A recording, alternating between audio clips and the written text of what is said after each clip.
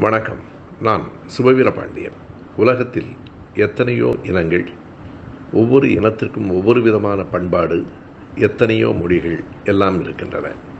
இவற்றுள் எந்த பண்பாடு சிறந்தது எந்த மொழி உயர்ந்தது என்பதை எப்படி கண்டுபிடிப்பது அதற்கான அளவுகோல்கள் யாரிடம் இருக்கின்றன? சரி பண்பாடு மொழி இவைகளை தாண்டி மிக எளிமையாக உணவு கூட ஒவ்வொருவருக்கும் ஒவ்வொரு விதமாக மாறி மாறி அமைந்திருக்கிறது. ஒரு இனத்தினுடைய உணவு இன்னொரு இனத்திற்கு பிடிக்காமல் இருக்கிறது. உண்ணும் உணவு வேறாக இருக்கிறது. பேசும் மொழி வேறாக இருக்கிறது. இவற்றுள் உயர்ந்ததை எப்படி கண்டுபிடிப்பது என்னும் கேள்விக்கு ஒரே ஒரு விடைதான் இருக்கிறது. உலகத்தில் உயர்ந்ததென்றும் தாழ்ந்ததென்றும் எதுவும் இல்லை.